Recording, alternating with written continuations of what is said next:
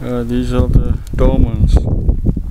Uh, some of them seem to be um, kind of uh, bricked in with the walls around them and covered in uh, stones, so that may have been the original way that they were built. Um, like this one, you can see the remains of the wall, and then inside this there are piles of stones, and then the uh, slab chambers um, inside.